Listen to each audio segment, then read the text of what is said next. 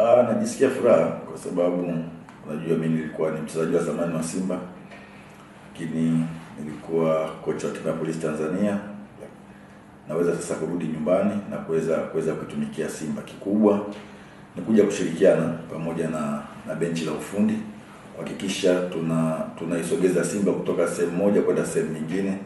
Najua haitakuwa kazi rahisi, ni kazi ngumu, lakini tumejipanga kuhakikisha lazima tuifanye tuifanye hiyo kazi. Cha msingi kama umeona timu ya Simba ina kazi sana kwenye discipline. Kiukweli hata nilivyokuwa naongea na viongozi, kikubwa ni kuja kutengeneza swala hilo. Kiukweli tutashirikiana na benchi la ufundi chini ya mwalimu mkuu anayekuja kuhakikisha tunafanya kile kitu kila mwana Simba anahitaji timu ya Simba Sports ifanye.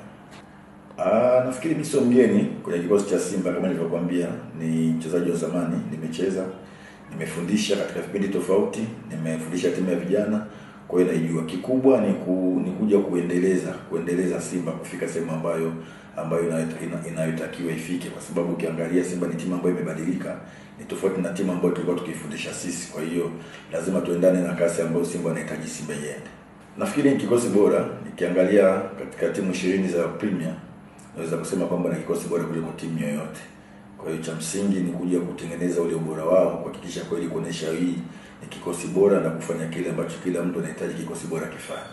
Ah, kikubwa ni kutupa support, kutupa support. Nimekuwa nikifanya nao kazi toka nacheza na wajua, na nafikiri mimi wananijua, najua wanahitaji nini watu wa Simba, ni falsafa gani wanahitaji kwenye timu ya Simba. Kwa hiyo kikubwa watoe support na sisi, na mimi naambia kwamba hatutawaangusha kwa kushirikiana na benchi la ufundi pamoja na mwalimu mkuu, tutahakikisha tunafanya kile kitu kila shabiki wa Simba anahitaji Simba ifanye. Lakini kikubwa, najua mashabiki wa Simba wana, wana furaha gani wanapo wanapopata matokeo kwenye mechi ya dabi. Kwa hiyo mimi nasema kwamba tutawaangusha, tutahakikisha tunawapa ile furaha ambayo wana Simba wanahitaji waipate katika mechi hiyo.